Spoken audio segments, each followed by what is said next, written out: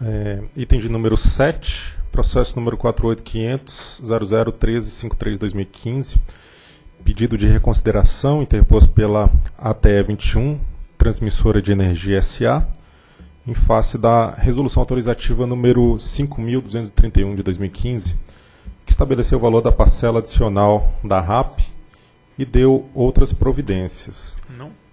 Relator, diretor André Peptoni.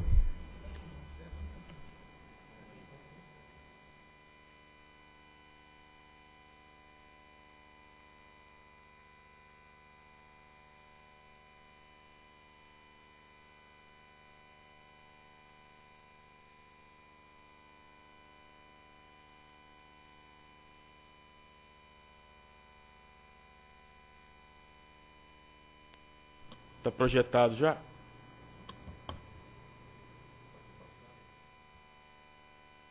União dita lá, subestação Xingu. Caminha agora.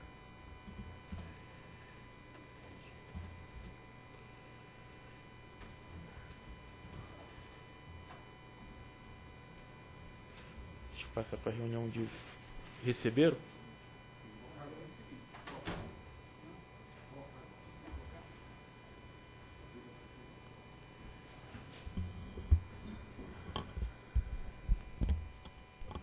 Já está na pasta? Então vamos lá. Na 18ª reunião pública ordinária, que, foi, que ocorreu em 26 de maio deste ano, este colegiado decidiu autorizar a ATE 21 a realizar reforços nas instalações de transmissão sob sua responsabilidade, subestação Xingu. Estabeleceu o valor da parcela adicional de receita anual permitida RAP. Não está assim, não. Não está isso, não, André. Ele começa com a superintendência. Olha como é que está lá na tela. Está diferente. É, passou do item 5, é. Já foi novamente.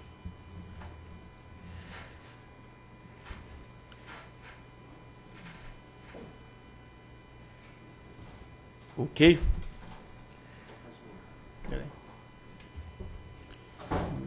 Está ok. Então pronto, já está disponibilizado. Então, na, como dizia, em 26 de maio, esse colegiado decidiu autorizar a ATE 21 a realizar reforços na subestação Xingu e, para tanto, estabeleceu prazo e RAP. E a decisão foi consubstanciada pela resolução autorizativa 5.231 de 2015. Inconformada, a ATE 21 protocolizou o pedido de reconsideração, no qual solicitou reconhecimento do prazo de nove meses para a implantação do remanejamento de trecho da linha de transmissão 230 kV Tucuruí-Altamira e do custo real e total de aproximadamente 17 milhões para o remanejamento desse trecho de linha. Em sequência, a transmissora protocolou pedido incidental de atribuição de efeito suspensivo ao pedido de reconsideração em 22 de junho de 2015, o processo foi distribuído por sorteio a esta relatoria. E diante do pedido incidental de efeito suspensivo, dos, os autos foram então encaminhados ao gabinete do diretor-geral para exame. E por meio do, do despacho 2102, de 29 de junho de 2015, o diretor-geral decidiu não conceder o efeito suspensivo, o efeito suspensivo pleiteado pela recorrente. Em 14 de julho, essa relatoria se reuniu com representantes da recorrente, oportunidade na qual informou que, na hipótese de eventual indeferimento do pedido de reconsideração, não haveria interesse na implantação da obra, haja vista entender não ser sua responsabilidade. Por considerar o interesse da Belo Monte Transmitora de Energia, BMTE, na viabilização do terreno da subestação Xingu, haja vista a responsabilidade pela implantação do primeiro bipolo da UHE Belo Monte a esta relatoria, mediante o ofício número 245 de 15 de julho de 2015, questionou quanto à viabilidade da assunção do remanejamento da linha de transmissão 230 kV Tucuruí Altamira. E por meio de carta de 16 de julho, a BMTE informou que poderia encarregar-se do remanejamento da linha de transmissão. E por meio de correspondência sem número de 17 de julho, protocolada na mesma data, a recorrente, no caso até 21, informou que, caso não seja possível atender o pleito do pedido de reconsideração apresentado, não se opõe que a referida obra, a critério de ANEL e sem que gere qualquer ônus a até 21, seja atribuída a outro agente, especialmente considerando o interesse de outros agentes em sua realização, bem como pelo fato que a linha de transmissão a ser remanejada faz parte da de concessão diversa. Registra-se que, mediante a nota técnica 66, a avaliação das condições de atendimento ao tramo oeste na indisponibilidade do trecho de linha entre Tucuruí e o transformador 530 kV de Xingu, o ONS informou que a indisponibilidade do trecho de linha de 230 kV entre a subestação de Tucuruí e a derivação com o transformador de 500 kV de Xingu poderá impor restrições ao sistema de atendimento ao tramo oeste, dado que o sistema terá apenas uma fonte de suprimento, que é proveniente do SIM, além de não ser possível contar com um importante ponto de controle de tensão a partir da subestação Tucuruí 230 kV. Assim, com a presença de três ou de duas, duas unidades na UHE Curuaúna e na UTE Santarém, que tem 18,75 megas, é possível realizar a intervenção no trecho da linha de Tucuruí e a derivação do transformador de 500 kV de Xingu, entre os meses de maio e dezembro de 2015, sem qualquer restrição ao atendimento de carga. Então, de acordo com a tabela anterior, o melhor período para realizar a citada manutenção é entre os meses de maio e dezembro de 15, considerando a operação de três ou duas unidades na, da UHE Curuaúna e a presença do TE Santarém. Todavia, em mensagem eletrônica de hoje, o NS informa que o Comitê de Monitoramento do Setor Elétrico, na reunião realizada em 13 de maio de 2015, deliberou pela não implantação de geração térmica adicional na subestação Tapajós durante a indisponibilidade de transmissão no trecho entre Trucuruí e o TAP do transformador Xingu. É que para fazer o desvio essa linha vai ter que ser seccionada e havia uma discussão sobre a necessidade ou não de geração adicional. E a posição final, corroborada pelo próprio ONS, em ofício que nos foi encaminhado hoje, é por meio de mensagem eletrônica, é que não há nessa necessidade de, de instalação de geração adicional e essa discussão foi inclusive objeto da reunião do CMSE de 3 de maio de 2015. É o relatório. É, Procuradoria.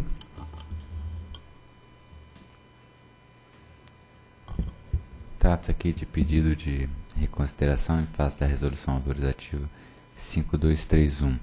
A matéria aqui é essencialmente técnica, não tem conteúdo jurídico, a Procuradoria é, fez análise da resolução autorizativa sobre aspectos de legalidade e entende que a matéria está em condição de ser deliberada para a diretoria. O recurso apresentado pela ATE 21 ele é tempestivo e merece ser reconhecido. E quanto ao mérito, então trata-se do exame de pedido de reconsideração da ATE 21, em face à resolução de 2015 de número 5231, que autorizou a realização de reforço na subestação Xingu e estabeleceu o valor adicional de RAP e o respectivo cronograma de execução de obra. Observa-se que a análise e a fundamentação quanto à possibilidade de que o remanejamento do trecho de linha de transmissão fosse autorizado e realizado pela TE 21 mediante reforço foi objeto do processo 4172/2012 e no bojo daquele processo, a diretoria colegiada entendeu por bem, para a viabilização do reforço relacionado ao empreendimento estruturante, emitiu o despacho 299-2015. E por meio desse despacho, o colegiado determinou a SCT que autorizasse a até 21 no bojo do contrato de concessão número 13 a executar o remanejamento de trecho com aproximadamente 2 km de comprimento da linha de transmissão 230 kV Tucuruí Altamira, essa linha que é de propriedade da Eletronorte, em circuito simples. E o remanejamento é necessário para desobstruir a área destinada à implantação da subestação Xingu, sob responsabilidade da própria ATE 21. Esse é um caso muito específico, que nós temos é, a, a subestação Xingu, que deve ser implantada pela ATE 21, só que hoje, na área da subestação Xigu, passa uma linha da Eletronorte, que é essa linha Altamira-Tucuruí. E o que está sendo discutido aqui é justamente fazer uma interseção na linha para que livre a área da subestação Xingu. Então essa linha ela vai ter que contornar a subestação Xingu.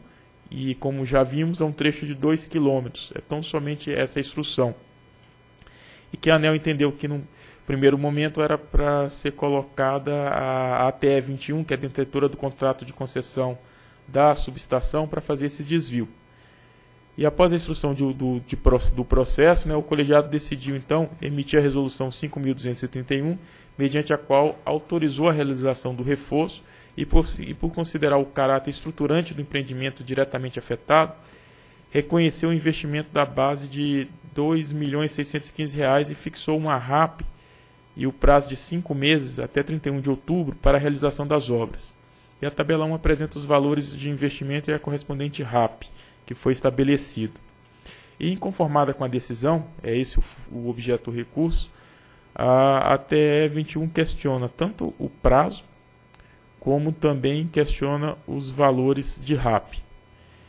Percebe-se, portanto, que a recorrente procurou fundamentar suas alegações na ocorrência de erro material na prestação na apresentação do prazo, porque ela coloca que em todo momento na, nas trocas de correspondência e reuniões aqui da ANEL tratou-se de nove meses e no último pedido dela ela coloca cinco meses. Então aponta que foi um erro material que o que deveria ser considerado era nove meses e não cinco. E quanto ao prazo para a realização das obras, deve-se frisar que o remanejamento envolve apenas 2 km de linha de transmissão, razão pela qual, se, se considerar adequado, então o prazo fixado em cinco meses. Acresce-se que não é aceitável a alegação de erro no preenchimento de formulário haja vista tratar-se de agente setorial especializado em obras de transmissão, de quem o conhecimento da regulação setorial é absolutamente exigível.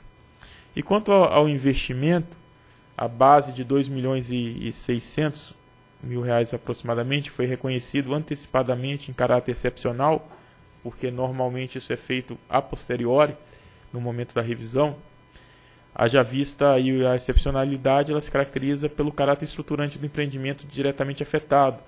Logo, deve-se anotar que o reforço autorizado, que é o remanejamento da linha, se enquadra no artigo 3 inciso 8 da Resolução 443 de 2011, razão pela qual, ordinariamente, não faria jus à fixação prévia da parcela de RAP nos termos do parágrafo 4 do artigo 3 da norma. Destaca-se que a ausência de fixação prévia da RAP não significa obrigatoriedade da realização de investimentos sem o correspondente necessário reconhecimento tarifário, mas apenas e tão somente que tais investimentos serão reconhecidos e será fixada a parcela adicional da RAP no reajuste, ou seja, no primeiro processo subsequ tarifário subsequente à entrada em operação da instalação. Assim, mesmo quando considerada a excepcionalidade concedida pelo despacho 299 de 2015, visando apenas evitar debate e viabilizar a viabilização de empreendimentos estruturantes, não há base legal para o pedido de afastamento de aplicação do banco de preço pela TE 21. Com efeito, conforme expressamente determinado no submódulo 9.7, aprovado pela Resolução Normativa 643 de 2014 e dos procedimentos de regulação tarifária. Ou seja, o, o reforço, que é justamente o seccionamento da linha, ele vai ser valorado de acordo com o nosso banco de preço. Não existe argumento para afastar o banco de preço. Aliás, a utilização do banco de preço de referência da ANEL é matéria preclusa, haja vista que se constatou expressamente do despacho 299-2015, que determinou ao SCT a instrução do processo visando a autorização de reforços com adicional de RAP prévia para execução de obras necessárias, de acordo com o PRORET, o módulo 9, submódulo 9.7, e a decisão a decisão não foi objeto de impugnação administrativa pelo interessado, razão pela qual materializada a coisa julgada administrativa. Deve-se, portanto, indeferir o pedido de afastamento do banco de preço para reconhecimento antecipado de um investimento de aproximadamente 17 milhões de reais. Ou seja, a discrepância aqui dos números é grande. O banco de preço sugere 2 milhões e 600, o empreendedor quer 17 e 100 e fixa a RAP a partir desse valor, haja vista tanto a ausência de previsão normativa quanto a preclusão dessa discussão.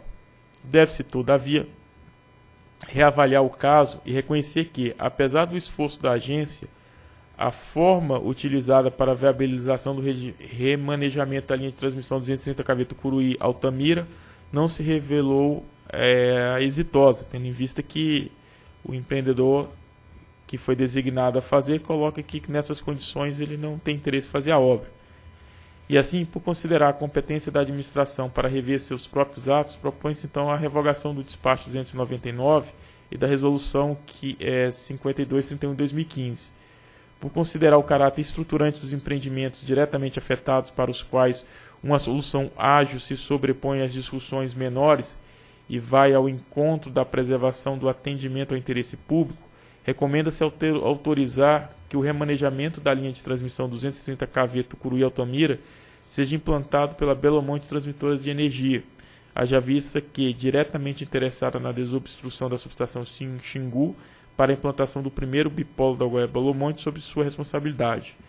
Observa-se que, mediante a correspondência 136 de 2015, a BMTE manifestou interesse em encarregar-se do reforço e que a ATE 21, pela correspondência sem número 17 de junho de 2015, informou que não se oporia à atribuição da obra a outro agente. Na mesma linha, anota-se que o ONS, por intermédio da nota técnica 66 de 2015, informou que o melhor período para realizar a citada manutenção é entre os meses de maio e dezembro de 2015, considerando a operação da, de três ou duas unidades da UHE Curuaúna e a presença da UTE Santarém.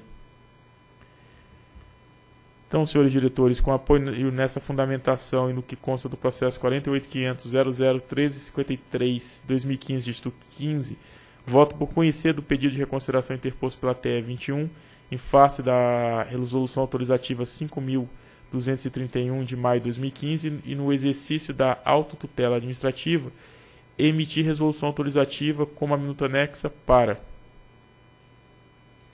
revogar o despacho 29 de 10 de fevereiro de 2015 e a resolução 5231 e autorizar a Belo Monte Transmissora de Energia, BMTE, a implantar o remanejamento da linha de transmissão 230 kV do Curuí Altamira para desobstrução da subestação Xingu.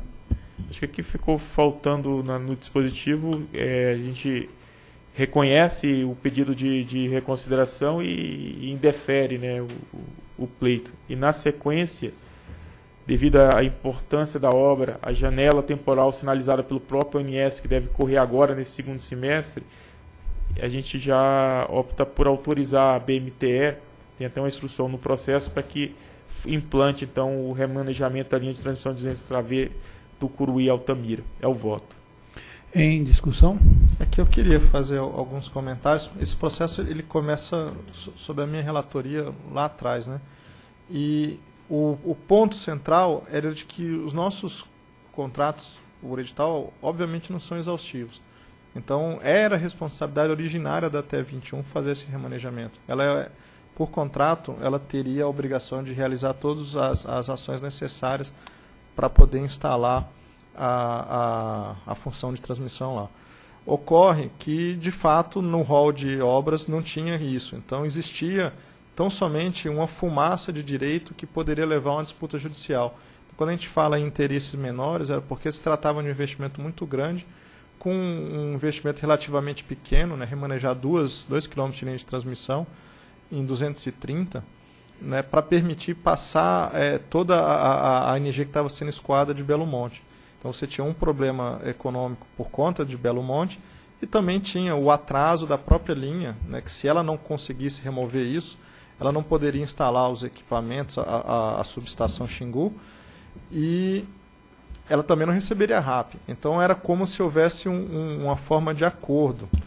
É, a, a, gente reconhecia a caráter estruturante disso, a necessidade de uma solução ágil, evitando uma briga judicial, e aí faria uma RAP, uma RAP prévia, já era algo também extraordinário, porque esse tipo de reforço você calcula RAP depois, dá um adicional, e em troca o que estava lá era a manutenção do, do, do prazo da, da, da, original do contrato de concessão da até 21.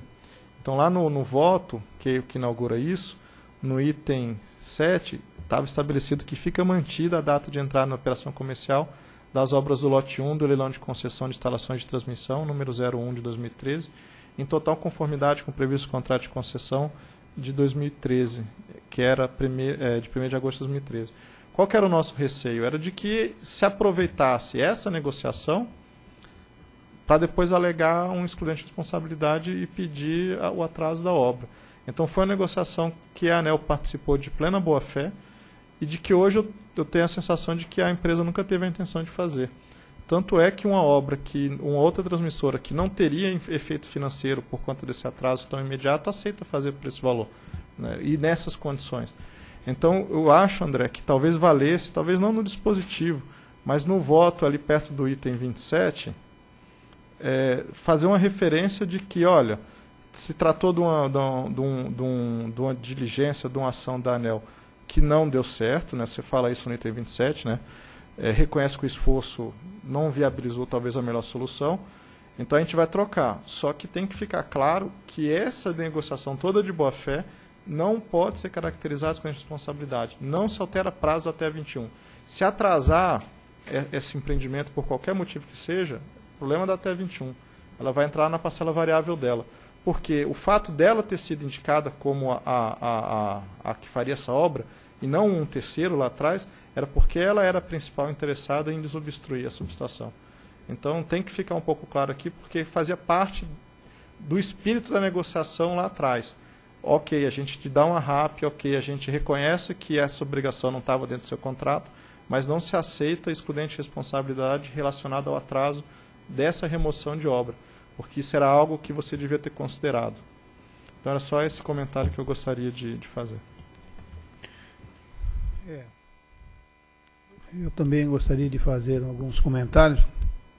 Que esse caso é excepcional, na, naquela reunião que foi aprovada, isso daí eu, eu fui bastante enfático a, esse respeito, tanto na questão do prazo como na questão do preço. É, entendo que é, chegou-se a, um, a, um, a um, bom termo no final da, da história, no, no, sentido de que tinha uma outra interessada em fazer, que é no caso a Belo Monte. É, mas eu concordo com, com o Tiago, que eu, eu, nesse aspecto, porque é, tem que ficar claro mesmo que nós não estamos alterando e nem permitindo que se faça qualquer relação a, a esse respeito que está se deixando ela não cumprir por algum motivo relacionado a isso. É, eu, eu entendo também, eu, o, o André, que deve ficar claro que o prazo de, de, de remoção é os cinco meses, né? Para, para Belo Monte, não, e não nove meses. Do, da mesma forma que, que tinha ficado é, é, patente para o caso da, da ATE 21. É isso, né? Veja, é, o prazo da ATE 21 não se dava a partir do marco decisão. Como a, a BMT entrou agora sim, no processo... Sim, mas a partir de agora. Então é cinco meses a partir de, a agora. Partir de agora. Não, sim, mas... Cinco meses a partir de agora fica execuível é, para a é, empresa. Mas eu, isso daí tá, está claro na, na autorização. Porque é importante, é importante que fique claro dentro daquela resolução autorizativa esse prazo, que senão é, fica, fica solto o prazo. É, né? Podia usar as mesmas condições, porque lá a é. gente falava até cinco meses. É, até ir aumentando um, e um prêmio, um prêmio no valor é. se ele antecipasse. É, conforme a tabela é dado o prêmio, conforme ela antecipasse, ela, ela teria uma receita um pouco maior. Esse era o prêmio. transportar esse princípio. Eu acho que era, é, é, isso é interessante, viu, André? Isso aí dá, dá, a gente é, coloca, acho que esse é, tá no objeto do acordo. Né? Aqui eu só queria, diante da, das ponderações feitas, só rememorar o seguinte. É, essa subestação ela é importante para viabilizar o escoamento da usina de Belo Monte, que é até lá que vai chegar o, o primeiro bipolo né, da, da BMTE. A gente entrou numa discussão sobre quem era a responsabilidade de fazer essa derivação. E essa discussão, ou seja, não está conclusiva, porque pelo seguinte, a, a BMTE a, a TE21, que é, tem a concessão para fazer a subestação Xingu, entende que não é ela. A ANEL, a princípio, entendia que era, era ela e foi feita, num primeiro momento, uma conversa. O, o fato é, é, o, é o seguinte, foi feito um grande acordo entre os agentes envolvidos, Eletronorte, a TE21 e a, a Belo Monte. A gente tem uma necessidade de prazo a ser cumprida, e temos umas condições que essa instalação não pode onerar o consumidor, ou seja, ela não pode ter um tratamento regulatório diferenciado. Então, nesse sentido, a ATE 21 colocou que ela entende que não é obrigação dela e que aquela RAP não remuneraria de forma adequada o serviço a ser prestado por ela. Isso poderia levar a uma discussão administrativa e judicial sem a conclusão da obra. Por outro lado, tendo em vista a necessidade do escoamento da usina de Belo Monte, a BMTE, que precisa dessa instalação e tem grande interesse, inclusive, em implantar as suas instalações na, na área da subestação Xingu, é, em reunião e depois formalizado por ofício que se encontra no, nos autos do processo, colocou que não teria objeção em fazer esse seccionamento nesse prazo que a gente está colocando, cinco meses a partir de agora. Inclusive, já tem um licenciamento ambiental que foi dado para a Eletronorte, que é membro do consórcio da, da BMTE, coisa que para a TE 21 seria um dificultador, porque ela não teria ainda o licenciamento ambiental.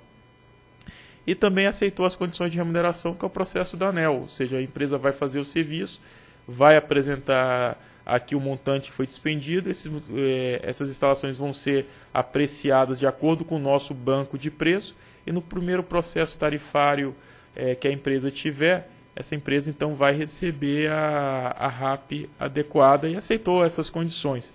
Então a, a instrução, de certa forma, ela visa formalizar é, essa conversa entre os agentes, a gente respeitando o prazo sistêmico para a obra e também com a correta remuneração. Agora, a, o Tiago faz uma ponderação de que a, a TE21 ela tem prazos é, no seu contrato de concessão. Essa instrução não está alterando os prazos em nada, ou seja, os prazos a que se submete a, a TE21 estão válidos. O que eu estou entendendo é que ela não pode usar esse argumento aqui como excludente de responsabilidade caso houver atraso. Aí, mas isso é uma discussão futura, mas a gente pode deixar consignado. Isso aqui não vai ser, não pode ser empregado como excludente de responsabilidade para atraso da linha principal para atraso da subestação Xingu, né, que é, que é do seu é, contrato de concessão. Eu, o que eu gostaria, é claro que isso não cabe no dispositivo, o que eu gostaria era que tivesse uma frase ou duas no voto é, chamando a atenção para esse fato, porque lá na frente isso vai se perder, vai ter três ou quatro processos, né? E aí ele vai resgatar isso e vai falar, olha, eu, eu durante esse tempo todo existia um impasse administrativo sobre quem era a responsabilidade. Mas o pressuposto dessa discussão, nesses termos, era de que este, a, a negociação administrativa não implicaria é, em alteração de prazo, nem em reconhecimento do cliente de responsabilidade. Isso, se você for olhar lá no processo original, está na carta da TE 21, ela falou assim, ó, eu não abro mão da minha tese de que é, isso aqui não era meu. Não é responsabilidade. Mas a gente reconhece que o prazo original dá para ser cumprido se se resolver isso administrativamente. Perfeito, a gente faz esse registro no corpo do voto, que essa deliberação não se presta a alterar prazos do contrato de concessão da TE 21 e muito menos é, ser passível de argumento como excludente de responsabilidade. O ponto aqui é que a intervenção da ANEL é no sentido de garantir que essa obra ocorra o mais rápido possível. Não pode ser depois alegado, olha, com essa interferência a Eu ganhei atrasou. tantos meses. Não, não, porque ia ser muito pior se a gente não tivesse feito isso. Perfeito. Adilson queria fazer uma colocação. Senhores diretores, só lembrando o seguinte, que o sistema de corrente alternada, que é esse contratado com a TE 21, ele escoa a usina de Belo Monte da primeira à décima segunda máquina. Tá? Somente a partir da 12 máquina em diante que é necessário o bipolo. Por isso que nós temos primeiro o contrato da ATE 21 e depois o da Belo Monte. Então, eu é, concordo com o doutor Tiago que nós temos que amarrar de fato a data de entrada em operação do sistema de corrente alternada contratado com a ATE 21, exatamente para escoar é, 12 máquinas de Perfeito, Belo mas a gente não está mexendo na data do não, contrato não, até não 21, estamos, não. Ela não. é por isso que Remanece. eu acho que é. nós não temos que tratar disso. Isso. Exato. Perfeito. Tá? É só porque não o doutor André. É só uma história. o histórico do voto está tá compreendido, eu vou historiar. Então, é, é, que eu percebi, doutor André, que o senhor, na, na, na sua fala, quando o senhor falou da, do escoamento de Belo Monte, né? Eu só queria deixar esse. Assim, para mostrar que o escoamento é. do Belo Monte dá para uma série de, de linhas. Então tem a primeira de 500 KV, que é o da TE, depois vem o, de, o, depois bipolo, o bipolo, e depois vem o segundo bipolo listado sexta-feira para segurança e aumentar a capacidade né, do, do intercâmbio. Exatamente. Obrigado pelos conhecimentos. Não, doutor André, obrigado, senhor. É, em votação? Não, já passou do tempo. Né? Não, não. É, em, em votação? Eu voto com o relator. Também voto com o relator e proclamo que a diretoria decidiu. Vamos ver se ficou certo, André. É, a, É, com apoio nessa fundamentação e no que consta do processo, a diretoria decidiu por conhecer do pedido de reconsideração interposto pela ATE 21 Indeferi-lo. e indeferi-lo. Está faltando. né, no Aham. mérito indeferi-lo, em face à resolução é, 5231, no exercício da autotutela administrativa, emitida é, resolução autorizativa com minuto anexo para revogar o despacho 299 de fevereiro de 15 e a resolução autorizativa 5231 de maio de 15. Também autorizar a Belo Monte Transmissora de Energia a implantar o remanejamento da linha de transmissão 230 kV Tucuruí Altamira para desobstrução da, da subestação Xingu num prazo máximo de cinco meses, a contar da publicação dessa resolução. É isso, né? Ok. Ok? Próximo item.